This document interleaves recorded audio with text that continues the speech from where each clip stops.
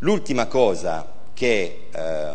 voglio dire è importante è questa, vedo ci sono molti, c'è qualche collega dirigente, ci sono molti insegnanti, siamo partiti ieri con l'azione degli animatori, degli animatori digitali, non facciamoci troppo la testa, l'idea dell'animatore digitale era cercare di valorizzare le persone che già fanno questo nelle scuole,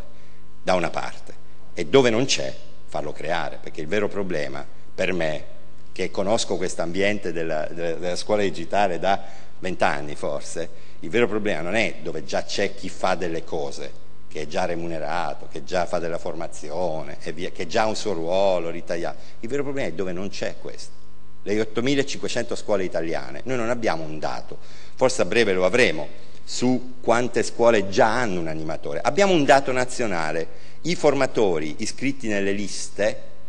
quelle che vengono utilizzate per i corsi di formazione sulle tecnologie, sono 2.400 in alcune regioni sono doppi perché ci sono stati, come dire, hanno svalicato i confini regionali alcuni formatori. Capite bene che 2400 rispetto a 8500, se anche ce ne fosse uno solo per scuola, siamo sotto. Quindi che cosa vuol dire questo? La preoccupazione nostra chiaramente è cercare di far sì che in ogni scuola ci sia un qualcuno che faccia animazione, che non aggiusti le macchine, perché anche per quello nel, nel piano è stato pensato qualcosa, ma che metta insieme le famiglie, gli studenti, insegnanti, faccia della formazione, faccia degli eventi, eh, metta in piedi il coding su tutte le classi, eh, realizzi qualcosa che porti a sistema il digitale. È la prima volta che si fa, attenzione,